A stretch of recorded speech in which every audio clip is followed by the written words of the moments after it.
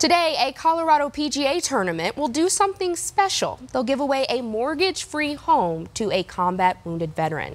Lance Corporal Stevens Klimzak will receive the keys to this home in his hometown of Buffalo, New York. Someone who has given so much to our country, you're setting them up for success after they've been awarded and after they've done done their service. So it's it's an incredible experience to meet these people.